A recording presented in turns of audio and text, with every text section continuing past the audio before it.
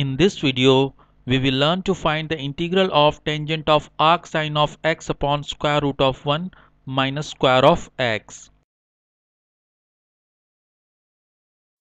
Let i be equal to integral of tangent of arc sine of x upon square root of 1 minus square of x with respect to x.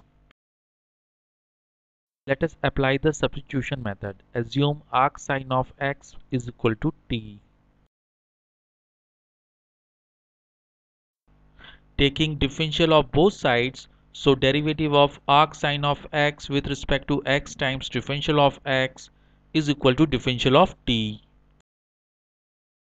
As we know, derivative of arc sine of x with respect to x is equal to 1 upon square root of 1 minus square of x. So 1 upon square root of 1 minus square of x times differential of x is equal to differential of t. Let us substitute arc sine of x by t and 1 upon square root of 1 minus square of x times differential of x by differential of t. So i is equal to integral of tangent of t with respect to t. The integral of t is minus natural log of absolute value of cosine of t. The integral of tangent of t has been explained in the video appearing in the upper right corner. The link of the video is also mentioned in the description section. So i is equal to minus natural log of absolute value of cosine of t plus capital C. Capital C is the arbitrary constant of indefinite integral.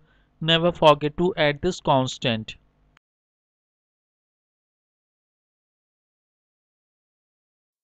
we have solved the integration in terms of t. Now we needed to take back the expression in terms of x. For that I have replaced t by arc sine of x which we had assumed earlier. So i is equal to minus natural log of absolute value of cosine of arc sine of x plus capital C. Thank you for being with me. I hope you like this video.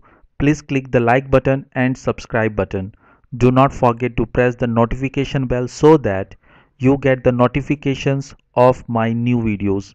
Share the video and do write in the comments. I am eager to listen to your thoughts. If you have any question related to the video or if you think I should make a video on any other topics in which you are interested, please write in the comments. Thank you.